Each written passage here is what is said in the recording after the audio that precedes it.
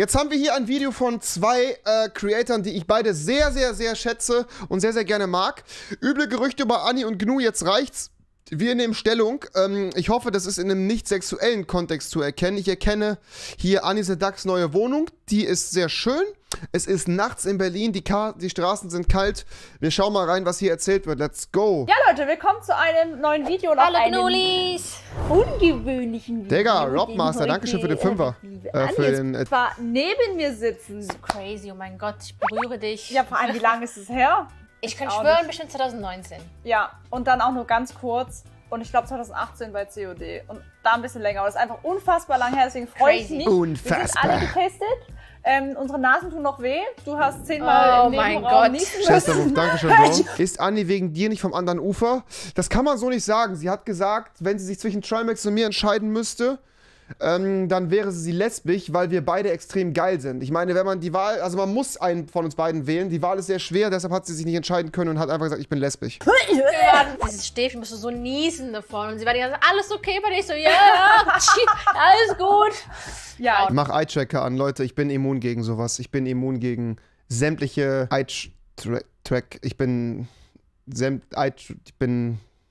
Ja. Aber ja, wir sind getestet, wir sind negativ. All Gucci. Genau. Und deswegen freue ich mich, dass wir dieses Video machen können. Es ist übrigens Ostern. Deswegen auch die tolle Deko. Frohe Ostern!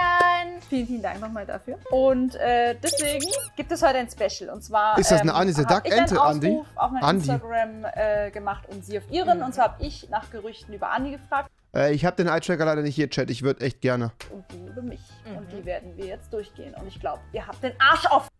Genau, als allererstes Den Eye-Tracker hat wirklich noch Luca von mir. lasst ihr Anni ein Abo da und einen Daumen nach oben. Müsst ihr nicht, könnt. Müsst ihr. Also, ich glaube, eine, ich weiß nicht warum, das wirklich sieben Millionen Mal gefragt worden ist, Aha. aber Gnu ist lesbisch. oh, was? So, kurz weg. Das äh, ist nicht der Fall, das weiß ich. Ja. Ja, ja die Frage Partner. kam tatsächlich bei mir im Stream auch oft. Ich glaube, die kommt dadurch, weil ich habe in meinem Stream ähm, den Tag LGBTQ drin. Ah, Finde ich auch mega geil, dass du da so offen drüber sprichst. Und den habe ich tatsächlich drin, weil ich einfach den Leuten das Gefühl geben möchte, hey, hier seid ihr Mhm. willkommen und hier urteilt keiner über euch. Und Voll, deswegen kommt her. Den habe ich tatsächlich drin. Ah, und deswegen. Fragen, glaube ich, viele. Ich I glaube see, I see, tatsächlich, I ja. see. Mhm, okay, macht okay, Sinn. okay. Da Also- fragt mich jemand, hab unter Videos, wo sie drin war, gelesen, dass sie ihre Freunde nur für Fame ausnutzt. Oh mein Gott. Ähm, nein? Also doch, das kann ich tatsächlich bestätigen. Ähm, das muss ich jetzt an der Stelle auch mal real talken. Saftiges Gnu hat ähm, in der Fortnite-Zeit sehr, sehr viel mit mir aufgenommen und hat sich dann nie wieder gemeldet tatsächlich, nachdem sie ähm, mich einfach schamlos ausgenutzt hat für Views und ähm, ja, mich dann einfach äh, fallen lassen wie eine kalte Kartoffel. Das war natürlich jetzt eine Ironie. Ähm, das ist nicht der Fall. Und Gnu ist übertrieben korrekt und macht sowas nicht, Leute. Ach so, Anni. Ja, Anni ist genauso, genau. I guess. Ich weiß nicht, ob man darauf Das sind Gerüchte über Anni. Ach so. Ach so. Beide machen das, genau, ja. kommt. Äh, ich glaube, mit den meisten Leuten. Ich glaube, die meisten meiner Freunde sind gar keine Streamer oder YouTuber. Und klar, wenn man mit so ein paar Leuten zu tun hat, die irgendwie YouTube machen oder Streams machen, das ist immer so. So eine gute Mischung aus, man ist befreundet und man dreht irgendwie Videos miteinander zusammen. Und meistens Ja. verbindet man das. Also Hört auf im Chat Buba zu schreiben, was soll das? So, äh, wir beide haben uns jetzt auch heute getroffen, weil ich war in Berlin und war so, hey, wollen wir was machen? Ich so, ja, voll gerne. Und dann war so, hey, so noch Videos drin? Ja, von mir aus. Und dann Ja. chillen wir irgendwie abends. Also, es ist Genau. immer so ein bisschen verbunden und meistens kann man das irgendwie nicht so ganz trennen. Aber ich würde niemals nett zu irgendjemandem sein, der irgendwie wack ist für, Ja. für Fame oder so. Das Ja, ist super da bist du sehr straight. Und Warum ist ihr dann nett zu mir? Ich bin doch übertrieben wack. Ich bin doch übertrieben, ich bin doch übertrieben wack, oder nicht? Ach nein! Ach nein! Komplett vergessen. Ich bin ja übertrieben geil. wir haben auch ganz viel für Anni Nike, danke für deine 3 Euro. Du kriegst keinen Creator-Rang. aufgenommen, deswegen check den Kanal ab. Da kommt Stimmt. ganz Chat. viel noch. Ja, Chat, hör auf zu kum. Oh, jetzt ist schon so spät. Ja. Nächste Frage ist, Gnu soll eine trockene Alkoholikerin sein.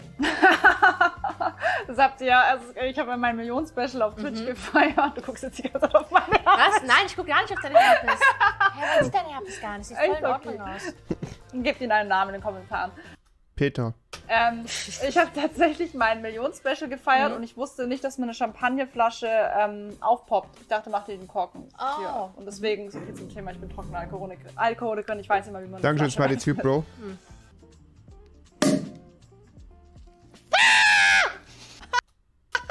Scheiße! Digga, die trinkt einfach Champagner im Stream, Junge. Geschafft. Annie spielt in ihren Videos eine Rolle, da sie manchmal in ihren Streams unfreundlich wirkt. Kann ich auch bestätigen, ja. habe ich öfter mal Mhm. gehört in meiner Klasse. Ja. So, das kriege ich voll oft gefragt. Leute sind immer so, hä, in den Videos bist du immer so voll laut und auf Twitch bist du eher ruhiger. Aber das Ding ist, keine Ahnung, ich versuche es immer so Captain ein L, bisschen danke zu schön für deinen erklären, Sub, Bro. wie Kuss. so so ein Verkäufer hat ja auch Mhm. so ein bisschen so eine Verkäuferstimme. Also wenn du im, im Laden hingehst und irgendwie bei Rewe fragst, Entschuldigung, haben Sie das? Und dann dreht sich die Frau so, ah, ja, äh, das haben wir da drüben im Regal, komm, folgen Sie. Und dann reden die halt direkt automatisch so ein bisschen höher und euphorischer, weil Leute halt irgendwie so eher auf Leute reagieren. Ja. Und ähm, irgendwie ist das doch so ein bisschen so der Vibe bei Videos. Also, dass du dir okay, Kamera an, jetzt Video. Dann würdest du natürlich auch sagen, jo, was geht? Ne? Ja, äh, wir genau, kochen heute irgendwie. und machen dann das so. Und natürlich ist man dann so ein bisschen so, yo, was geht? Wir machen jetzt das und oh mein Gott. Ne? Also, irgendwie ist das dann eher so der Vibe bei Videos. Und Streams, die sind ja auch nicht so kurz geschnitten und so knackig geschnitten mit Musik und Effekten, sondern das ist dann so, okay, wir sind Ja, jetzt ja, sechs fühl ich Stunden aber, Digga. Ja. wir reden. Das ist auch das Ding. Wenn man sich einzelne Videos von mir anguckt, da wirklich wie der letzte Psychopath in den Streams bin ich ja auch deutlich ruhiger. Wisst ihr, was ich meine? Und dann zocken wir was entspannt und dann machen wir was anderes. Natürlich fährt man da halt viel mehr runter und es Ja. ist eine viel natürliche Atmosphäre. Ja, so. Streaming Rolle actually spielen, wirklich so. Kann ich voll- kann ich so voll ein- verstehen. So, man Ja. selbst so 10% mehr. Vor allem streamst ja auch oft abends, wo man auch einfach mal ein bisschen runterkommen muss. Und Voll, halt ja. dann so durch Danke, wie für die heute, zwei ey, Euro. Da bräuchte ich auch erstmal Ruhe. Checken wir später mal. Nächste Nachkommen, Sache. GNU ist eine Filmchen. Hey, das höre ich auch so oft, gell? Es sind so viele, also es ist wirklich, es ist so oft gefragt worden, dass du Filmchen. darin bist, dass du schon mal gedreht hast. Hat, hat sie schon mal ein Porno gedreht? Hat Gnu schon mal ein gedreht? Nee, hat sie nicht. Glaube ich nicht. Mm -mm. Ich glaube nicht. Nee, glaube ich nicht. Glaube ich nicht. Also, keine Ahnung. Ich habe das ja jetzt schon mehrfach professionell gemacht. Und äh, bin ja gerade auch dabei, das Ganze als Collectors Edition zusammenzuschneiden. Das kommt ja auch demnächst. Ich kann mir das bei GNU nicht vorstellen. Keine Ahnung. Also mich hat es ja auch echt ein bisschen Überwindung gekostet, ne? Aber meine, äh, meine Collection, die kommt ja dann noch. Wir haben eine Paywall dahinter. Wisst ihr, andere Leute machen Modemarken oder sowas und ich mache einfach halt eine eigene Porno, ähm, eine eigene Porno-Page. So, das wird auch ganz geil. Aber da darf ich jetzt nicht zu offen drüber reden, sonst gibt's einen Bann, ist doch klar, Mongatos. dass es irgendwo von dir gibt. So, Also ich glaube tatsächlich, das habe ich auch oft, dass mich viele Leute mit, mit, mit einer Schauspielerin ähm, vergleichen. Die hat halt auch dunkle Haare, helle Augen und genauso sehen sie wahrscheinlich diese Darstellerin. Mhm. Ah, das ist ja Gnu. Ja, ja, genau. Äh, wie heißt sie nochmal? Merkel. Merkel, oder? Ja. Ich krieg so oft welche geschickt, die sagen, guck mal, die sieht aus wie du, bist du das? Ja. Wo ich sage, nein, Mann, die sieht komplett anders Ja, aus. Also hier auch nochmal, nein, gibt es nicht. oh. Ich meine, Ich finde, ja, gut, finden wir das. ja, finde ich jetzt auch schade. Ja. Auch eine Frage oder ein Gerücht, was unfassbar oft kam, ich glaube mit von den meisten, Mhm. abgehört. Annie steht auf Reeve. Also, Antonia ist wirklich sehr nett. Mhm. Wir verstehen uns sehr gut. Aber ich unterdrücke jegliche Gefühle, die vielleicht hochkommen würden, weil sie in Madeira wohnt. Und deswegen ist das so. Ich auch, aber deshalb fliege ich nächste Woche Samstag dahin und lass meine Gefühle raus, ob sie es will oder nicht. Ist doch klar, oder? Wir sind Freunde. Vor allem, nicht nur ich würde es feiern, auch die Community. Ja, ich würde es auch feiern. Was? Nächste! Okay, ich habe gehört, dass GNU einen OnlyFans-Account hat. Ich habe auch einen, aber nur zum Subscriben. Auch eine Frage, die sehr oft von dir kam. Äh, nee, ich habe keinen Geheim. Ich frage auch, was ist denn der Sinn von einem geheimen OnlyFans-Account? Ja, man kann halt dann, man kann halt dann die, die, also man kann ja dann die Sachen von anderen Leuten gucken. Ich habe auf OnlyFans nur Toni Pirosa abonniert, weil ich hoffe, dass ich irgendwann seinen Penis sehen kann. Nee, tatsächlich nicht. Gibt's nicht. Schau mich nicht so an. du! Bist du das? ja, genau. Äh, Stefan dreht so das Handy um. Anni soll Nudes gepostet haben, hat mir meine Freundin erzählt. Das war nicht Anni selber, das war ich, nachdem ich ihren Computer gehackt habe. Das ist ganz wichtig. Das war sie nicht selber, ne? Vor allem wo? Einfach so, alle Warum News sollte ich das machen? Wo? Ja. Also, ähm, ich habe früher Cosplay gemacht und Cosplay ist ja übel sexy und ähm, habe da halt auch viele Cosplays, die einfach sexy waren, wo man einfach so Dekolleté und so, die habe ich halt gefeiert damals. Aber nie nackti. Ja. Hm. Hey Leute, ich habe das Video hochgeladen. Hier sind wir. Dinger. Genau. Klar, da würdest du mit Boris nur noch einen Schuss hören aus seinem Zimmer. Well. Gnu war nie in Melbourne. Es war alles fake und in einem Greenscreen-Haus, weil sie kein Geld fürs Reisen hat. Digga, das ist sehr, sehr weit hergeholt. Stimmt. Ähm, ja. so war's.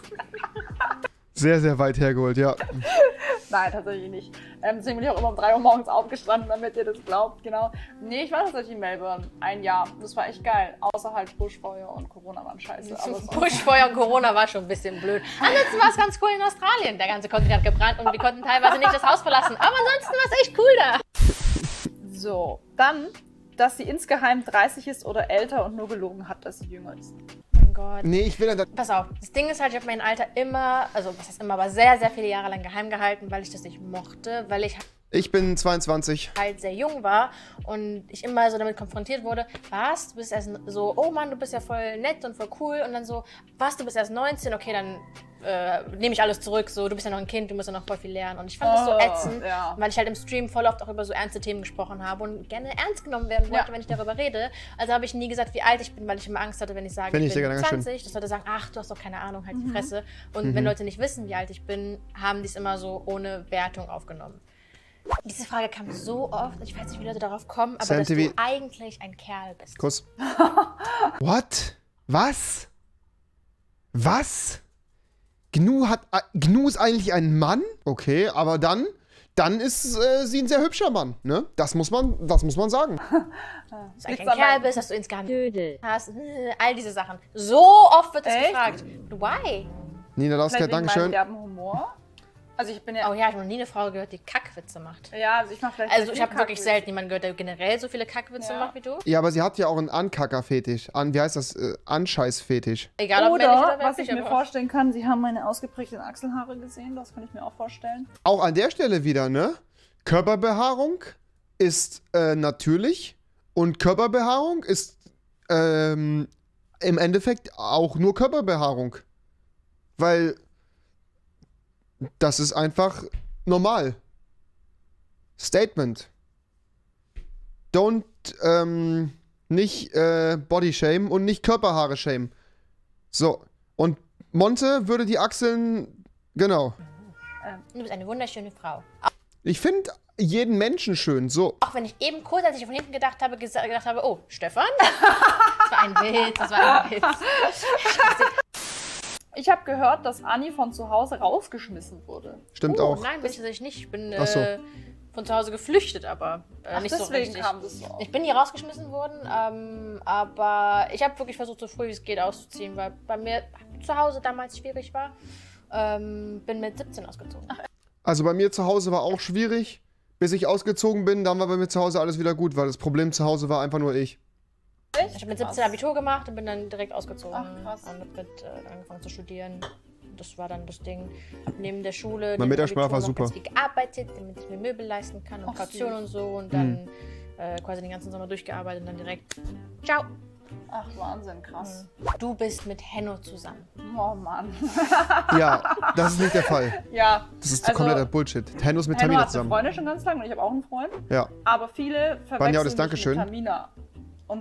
What? Wie, können, wie kann man die beiden denn verwechseln? Die sehen doch unterschiedlich aus. Das Einzige, was die gemeinsam haben, ist, dass die beide lange dunkle Haare haben, oder? Weird. sagen. Und als wir dann das erste Mal nämlich mit Tamina und Ja, mir. dunkle, Au dunkle Haare, helle Genau, Augen. so I wieder das Hm, halt okay. wieder so, hey, Ja. du hast doch dunkle Haare, helle Augen, bist doch Hennos Freundin. Also Bayeti, das danke. ist auch der Klassiker. Und als wir dann ein Video mal aufgenommen haben, Ganz wo Tamina dabei ist, haben gesagt, hä, wieso gibt's die denn zweimal? Wo ich mir auch denke, so, oh Leute, ey. Alter, Henno hat einfach zwei Freundinnen. Junge, da Baby Let's Go. Also, wir sind äh, Sülze Homies. Äh, sie hatte mal gesagt, sie will sich einen riesen Kim Kardashian Ass operieren lassen. Stimmt. Okay. Aber ich liebe riesige Ärsche. Ich weiß, deswegen mache ich es nicht. Deswegen habe ich angefangen mit Sport und habe versucht, deswegen einen riesigen Arsch zu kriegen. Und Alter, ich werde jetzt nur noch meinen Arsch trainieren. Ich werde jetzt einfach nur noch meinen Arsch trainieren. Damit ich einen richtig riesigen, juicy, thick, nice Booty habe. So einen richtigen, so einen richtigen, ah, so einen richtig nicen, ich will so einen richtig geilen Riesenarsch haben. Ich will so einen Arsch haben, wo andere vorbeigehen und sagen, damn, Bro, ist das eine Tiefgarageneinfahrt oder dein Arsch? Und ich will so einen Arsch haben, wo Leute vorbeigehen und sagen, Dicker, chillige Landebahn, kann ich mein Flugzeug hier drauf parken. Mein Arsch soll so groß sein, mein Arsch soll so groß sein, dass ich einfach auf meinem Arsch, wenn ich irgendwann mal Kinder habe, meine Kinder tragen kann. Die sitzen da so drauf. Und mein Arsch soll einfach so geil sein, so groß und geil und wohlgeformt und geil riechend sein, dass, dass ich meinen Arsch, der sieht einfach aus wie so ein Sculptured Kürbis, so wisst ihr, was ich meine. So soll mein Arsch aussehen. Versteht ihr, was ich meine? Und ich bin langsam noch nicht ganz, aber fast damit in Ordnung zu akzeptieren. Ich bin weiß und dünn und werde niemals prächtige Kurven haben. Oh, ich werde mir so einen geilen Arsch operieren. Das ist sehr schade. Früher, wo ich noch gar kein Ass hatte, habe ich so Pads gehabt für auf Arsch. Ja, damit das zum Beispiel geiler auch. aussieht. Ja, Und dann, waren, dann kamen Leute auf Convention so, du hast aber nice. Ich so, alles fake, aber danke. Wie so ein Push-Up-BH für den Hintern. Aber Cosplay ist halt. Ja, ist also halt was anderes, ganz ne, ehrlich, aber, Leute, ja. deswegen. Gönnt euch einen Ass-Push-Up. Danke, mach ich. Okay, die Frage Ich gehe in die Bibi-Luxus-Linie und mache mir den geilsten Arsch. kam auch echt oft und zwar, dass du gar keinen Freund hast, sondern nur so tust. Was hat man denn davon? Was hat man denn davon? Hä? genau, also der Mensch, der immer in meine Streams reinkommt und mir Essen gibt, ist eigentlich ein Sklave. Okay. War auch gar nicht wegen meinem Freund in Australien, weil das auch gar nicht alles passiert Das war das Greenscreen Haus. Genau. Also eigentlich ist alles weg. Und ich bin ein echter Kerl, der auf Lacken lebt. Nein. Okay. Also Können wir mal ein Was, Bruder haben? natürlich habe ich einen Freund und der möchte sich nur nicht zeigen. Man sieht in den Stream manchmal sein Händchen und das war's. Aber es gibt ihn. Ja. Ja, Mann, ganzer Chat voller Was, Bruder. Was, Bruder? Was, Bruder? Beste Emote, ich schwöre, ich liebe es, Digga, ich liebe es. Ich liebe es. Ich habe noch eine Frage, eine, ein Gerücht oder beziehungsweise ja, was rumgeht. Dass die Schönheits-OPs normalisiert und verschönt, habe ich häufiger gelesen. Ja, und? Ist doch nicht schlimm. Es kann ja jeder mit seinem Körper anstellen, was er will. Es kann jeder mit seinem Körper machen, was er will. Ich zum Beispiel will so einen riesigen, geilen Arsch einfach haben. Ich will so einen richtig geilen, riesigen Arsch haben. Jeder kann mit seinem Körper machen, was er möchte. Und wenn es mein Goal ist, einen riesigen, geilen Arsch zu haben, dann mache ich einen riesigen, geilen Arsch, oder Chat? Was sagt ihr? Das Thema ist immer so schwierig, weil es gibt halt immer so dieses, rede ich gar nicht drüber, dann heißt es, oh, du sagst gar nicht, was irgendwie gemacht ist, du bist voll untransparent, du bist gar nicht authentisch, du bist nicht ehrlich. Und wenn ich drüber rede und einfach sage, hey, das habe ich gemacht und das war zum Beispiel voll schrecklich und das will ich nicht nochmal machen und das war irgendwie unnötig oder so, dann versuche ich einfach nur ehrlich zu sein und klar redet man manchmal Sachen gut dabei, weil ich mache etwas, um mich danach wohler zu fühlen und Ja. wenn ich mich danach wohler Aber das fühle, ist ja auch jedem selbst überlassen so. Es gibt halt Leute, die sagen, okay, sei mit deinem Körper zufrieden. Aber wenn ich doch nicht zufrieden bin, dann ist es doch auch mir überlassen, was damit zu machen, oder? dann kann ich es ja kaum schlecht reden. So, wenn es nicht wirklich viel Schlechtes daran gab. Ja.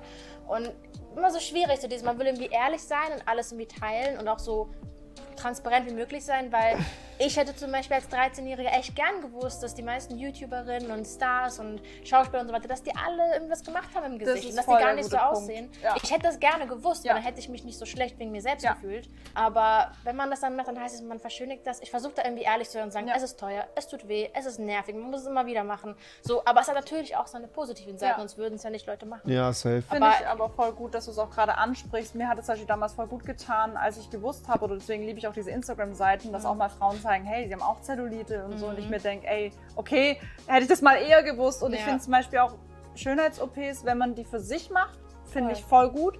Wenn man es aber macht, weil man sagt, oh, das ist ein Trend, damit kriege ich mehr Likes und Klicks, oder ich mache es wegen anderen, würde ich es nicht machen. So wie bei Aber Inscope hat sich auch bei den Augen operiert. Ja, aber ich glaube halt, damit er besser sehen kann, oder? Mir mit meinen Lippen. Damals habe ich ja auch nur gemacht, weil ich halt äh, immer gedacht habe, boah, ey, warum haben die so krasse Lippen und so und oh, okay, ich will das auch. Deswegen finde ich es schon echt cool, dass du so offen darüber sprichst, dass du auch Leuten sagst, ja, das gibt's, ja, das ist so. Gerade wenn Leute ansprechen, mich haben alle auf meine Lippen angesprochen, ich habe immer Nein gesagt. Wie dumm, wie peinlich im Nachhinein. Ja, aber So, das, es ich war so, verstehe es auch, wenn alle einer immer so dafür judgen, Ja. traut man sich natürlich. Ja. Carbro, sprechen. danke. Klar. aber es war so offensichtlich, deswegen finde ich es halt cool, wenn du es offen halt ansprichst und wenn ihr es für euch macht, finde Ich ich glaube, ich würde meine Nase operieren lassen. Ich will, ich will so eine Nase haben. Ich will so eine Nase haben. So. So will ich aussehen. So. So wäre chillig. So eine Nase hätte ich gerne, oder, Chat?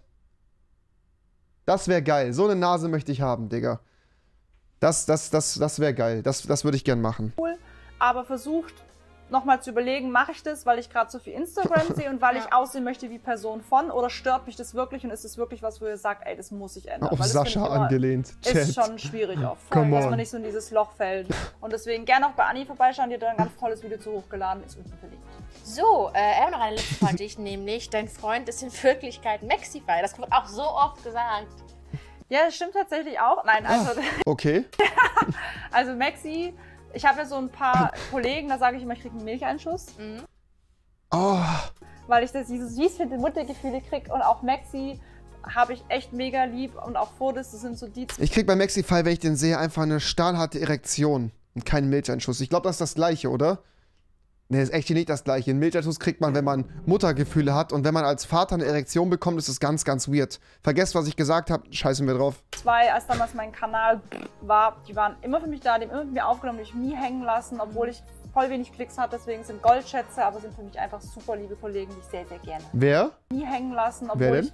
ich habe ich echt mega lieb und auch Fotos. Ein paar Kollegen, da sage ich immer, ich kriege einen Milcheinschuss. Auch? Nein, also, also Maxi, ich habe ja so ein paar Kollegen, da sage ich immer, ich kriege einen Milcheinschuss, Mhm. weil ich das dieses süß finde, Muttergefühle kriege und auch Maxi habe ich echt mega lieb und auch Fotos, das sind so die zwei, als damals mein Kanal war, die waren immer die da, zwei? Maxify aufgenommen, ist einer. lassen, obwohl ich voll wenig Klicks hatte, deswegen sind Goldschätze, aber sind für mich einfach super Aber Kollegen, ist eine Person. Also ist Maxi dein Freund. Ja, Leute, das war's von euren Gerüchten. Wir hoffen, Furdis. Ah, wir konnten einige davon äh, eliminieren und äh, hoffen, ihr spinnt euch nicht weitere Gerüchte. weg eliminiert. Ähm, schreibt gerne noch in die Kommentare ähm, weitere Dinge, die ihr eventuell gehört habt. Checkt auf jeden Fall Ani ab, abonniert, macht fleißig viele Videos, lässt Okay. Liebe da und äh, auf jeden Fall Daumen nach oben, wenn ihr mehr davon wollt. Äh, da ist ein Abo bei Gnu da. Das Okay, machen wir so.